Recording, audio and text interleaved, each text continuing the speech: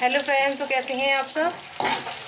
तो मैंने आज का ब्लॉग स्टार्ट कर दिया है और मैं तैयार हो रही हूँ गाँव जाने के लिए, क्योंकि गाँव में कुछ फ़ंक्शन है तो इसलिए मैं गाँव जा रही हूँ और आपको बताती हूँ क्या है गाँव में। वो आपको अगली वीडियो पता चलेगा। देखिए, मैंने साड़ी पहन ली है, बताइए कैसी लग रही है मेरी पिंक साड़ी? ये हल्की साड़ी है, इसलिए मैंने यही पहन ली है, क्योंकि थोड़ा सफ़र में ना लाइट ठीक रहता है। तो मैं तैयार हो जाऊँगी। और मैं ज़्यादा कुछ भी नहीं किया था। थोड़ा बहुत ही किया था, बस अब तैयार हो गई हूँ। अब देखिए, हम ना यहाँ से ऑटो से जाएँगे, क्योंकि मैंने इनसे मना कर दिया था कि आप क्या करोगे, आके आधे रास्ते से हमें ले लेना, आधे रास्ते तक हम ऑटो से चले आएँगे। क्योंकि हमारे यहाँ बहुत तेज़ बारिश हो रही थी तो यहाँ तक आते तो बहुत देर हो जाती, इस वजह से मैंने कहा आधे रास्ते पर आप आ जाना। तो अभी हम निकलते हैं।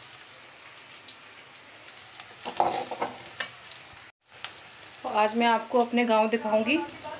गाँव की पगडंडियाँ सारी दिखाऊँगी आपको। तो देखिए मैं आपको दिखा रही थी कि मैंने बहु वाला गेटअप धारण कर लिया है।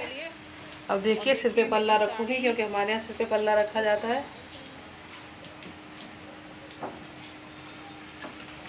कैसी लग रही बताना मैं आपसे यही पूछ रही थी कैसी लग रही है आपको मेरी साड़ी?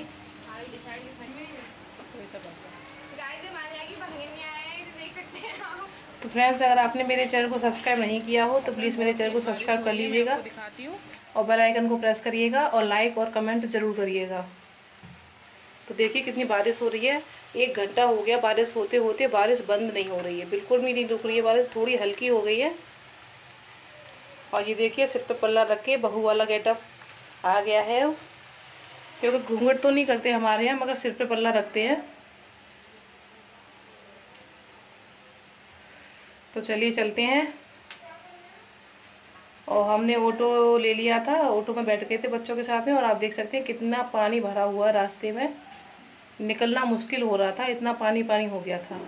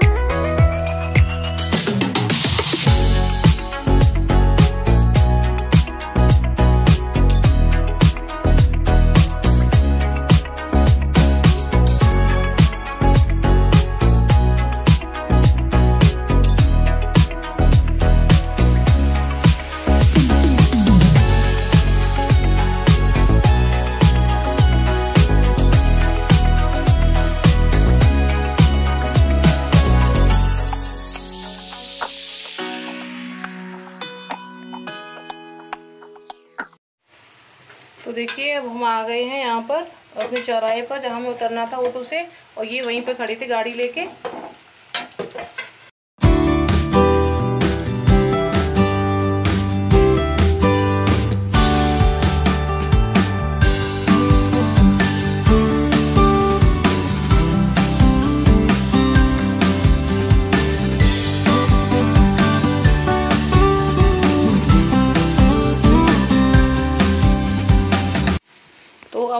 गए गाँव में और यहाँ आते आते आप देख सकते हैं, थोड़ा अंधेरा हो गया है।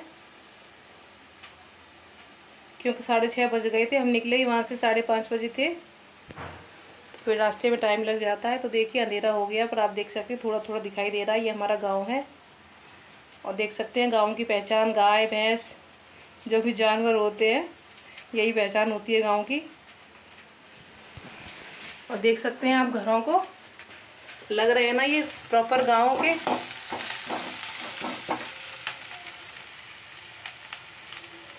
और हम घर पहुँचने वाले हैं। हमारा घर ना बहुत अंदर जाकर है। तो ये तो आप देख रहे हैं, अभी तो बहुत दूर है हमारा घर। मतलब गाँव में घुस के अभी हमें पाँच से छः मिनट लग जाते हैं घर पहुँचने में, क्योंकि बहुत ज़्यादा अंदर है। बिल्कुल गाँव के बीचों बीच में है हमारा घर।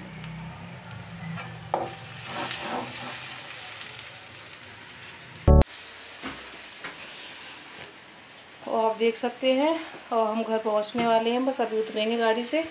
और आगे की वीडियो बच्चों ने नहीं बनाई थी, क्योंकि भीड़ लग रही थी ना वहाँ पे बहुत ज़्यादा।